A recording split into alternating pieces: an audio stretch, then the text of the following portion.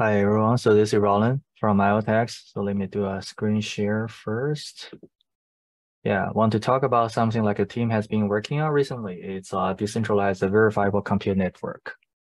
All right, so starts with a problem. Like uh, everybody perhaps know, like a public blockchains are permissionless, are open, right? But like a DApps are actually closed to the real world.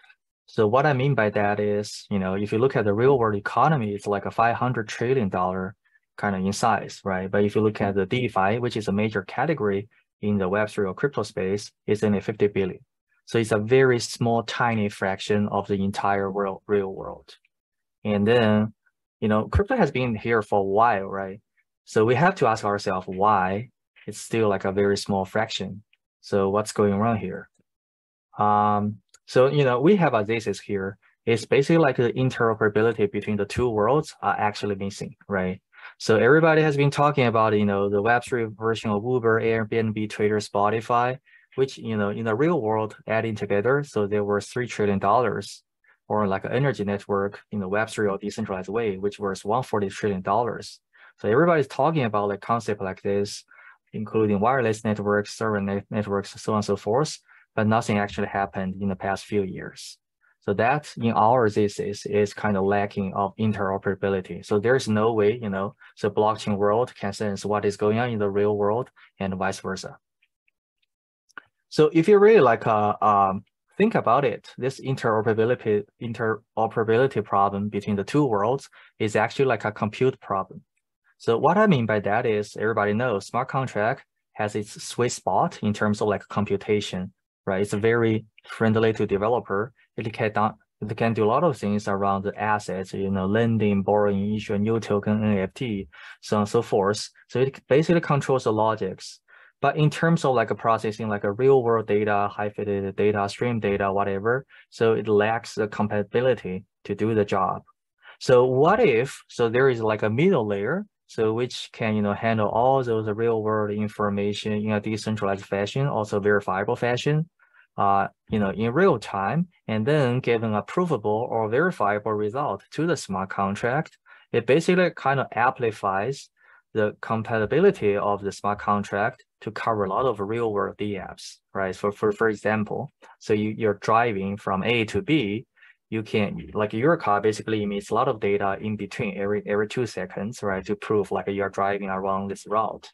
Uh, then if they're kind of like a middle layer protocol that can combine all the data together, verify them, and then kind of producing like a proof, you, you actually travel or drive from A to B in a safe way. Then the smart contract can do the rest of the magic, maybe give a token or NFT, so on and so forth. Okay, so with this theory, so you know the team actually started to work on like a decentralized verifiable compute network starting from uh, last year. So you know we are the first like a world uh, uh, decentralized infra basically turns high fidelity, uh, real-time streams into verifiable smart contract ready proofs, right? So on the left side of the diagram, basically you see a lot of signals coming from the real world. They can actually come in from your car, your watch, your phone, and even from some trusted like a data vendors. Um, and then those streams kind of come into the W3bstream, which is you know a bunch of like a node running a decentralized fashion does a lot of computing and produce like a verifiable kind of results to to like a, a smart contract on sitting on different chains like Arbitrum, Optimism, or Score, or IoTeX, or Ethereum, so on and so forth. So underlying, right? So if we kind of zoom in a little bit, so like you know, the W3bstream definitely like a working a very similar way to smart contract. If you're a developer, you want to build like a real world DApp so you have to write your computation logics in high level uh, uh, language like Golang, or JavaScript. You want to compile and deploy to this like a uh, decentralized network. Then your job is done. Then next is kind of high fidelity, high fidelity streams will actually kick in, which could be from your device, from user, or from somebody else, you know, which will trigger like uh, the internal computation of the of the uh, of your what you wrote.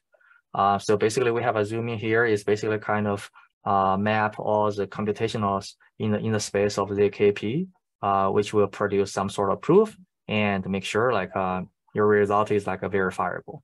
And then the results will given to a verifier, which is a smart contract deployed on different one, layer one layer twos, and then eventually kind of invoke your D app, which could be like a you know sleep tour, could be some like a fun games, and NFT, so on and so forth. So this is uh uh yeah, so this is basically we want to make the compute mathematically verifiable. Um, that's what we do. So we launched like a DevNet or W3bstream back in the this year, June-ish, if I remember correctly. So this is like a front end. We build like an IDE for developers to interacting with the protocol, right? Um, so this is basically how it works. Developer will create a project, you know, do some little bit of programming, upload like the uh, the applet here, and you know, just like uh, uh, inject data to keep it going. So this is uh this is DevNet we have. Um, so we're not just building, we're actually working with a lot of customers, real uh, real world customers. For example, Drife. Drife is like a Web3 Uber, mostly like serving like Indian users in the world. So we have an integration with them. They actually have their like a trusted location data, you know, piping through like the W3bstream. So it can verify and aggregates and proves, okay, so this, you know, rider has been like a taking uh, a taxi, you know, from A to B, and some sort of tokens or reward or like a travel cost should be, you know, uh, should be uh, transactions should be happen. So this is like a one example. Um, so another customers we're working with is like a Oura Ring. So they're pretty big in United States. They're doing this like a smart ring, which I do have one here. Uh, this ring basically monitors your like uh, bio indicators while you're asleep, you know, your heart rate, your breath, so on and so forth. And then we think this is a very high fidelity data, which can be streamed directly through like a W3bstream. Again, like the W3bstream does a massage of the data, which is coming every second or every two seconds uh, from the user directly. And then it has some sort of like a very dummy formula to calculate your sleeping score based on your kind of heart rate, uh, so on and so forth. And then the score will actually have, a, of course, uh, combined with a ZKP going to a smart contract basically says, oh, your sleeping score is 95 last night. So here I give you like an NFT pillow, right? So this is exactly like a POC. We're working together and they want to, you know, push this feature to like a, they're like a 2 million users. So yeah, maybe in the coming, coming Q4 next year. This is another customer we have.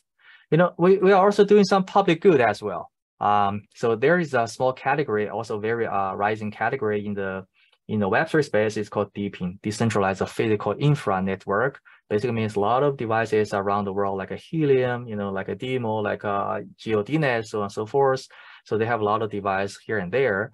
Uh, and we're building like a public good project. It's it's called DePIN Scan. It's some sort of like uh, the Etherscan. Uh, basically captures what is actually uh, going on each of the networks, right? So are they having like uh, more devices? How much utilities like those machine networks is actually producing? Um, yeah, and what's uh, what's uh, what's kind of like a price for the tokens, so on and so forth. Yeah, so I think you know since our like a DevNet launch in June, uh, we see like a significant growth in terms of like a users. Users are most like a developers here in this case. Um, so we're doing like a really well because uh, you know I, I think we kind of got like a good like a market fit for this for this particle. Uh, we're uh, we have uh, finished our pre previous round last year, the led by Samsung, HashKey, uh, Jump, who else? Um, you know, blockchain, so uh, and and we're actually preparing for the next round. So if you guys have any interest, talk with me, please. So we have a lot of partners we're working with. So they're in different categories. They're in healthcare, automotive, environmental, smart home, smart city. Uh, and also we're working with some social protocol as well, the DeFi as well. RWA has been like a recent kind of hot topic right now. So we're, you know, kind of like in talking with uh, several RWA pro uh, protocols to see how we can work together.